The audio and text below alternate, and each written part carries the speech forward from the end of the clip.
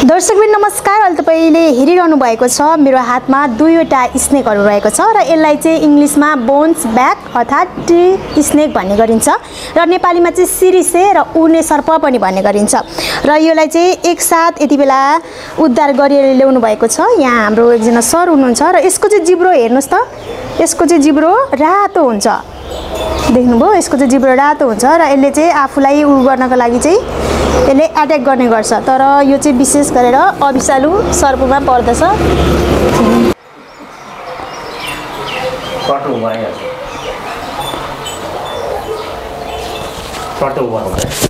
सर्प चाहिँ लगभग बिरलै मात्रामा देख्न सक्छौँ हामीले।